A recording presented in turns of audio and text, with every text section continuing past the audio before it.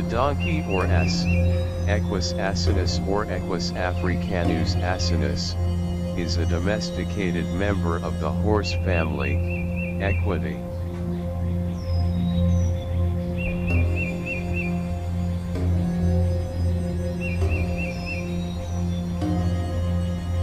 The wild ancestor of the donkey is the African wild ass, E. africanus. The donkey has been used as a working animal for at least 5,000 years.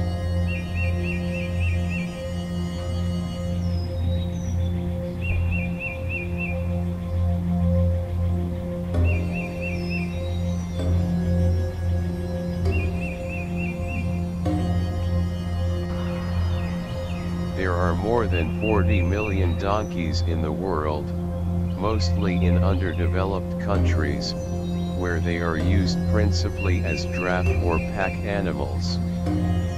Working donkeys are often associated with those living at or below subsistence levels. Small numbers of donkeys are kept for breeding or as pets in developed countries.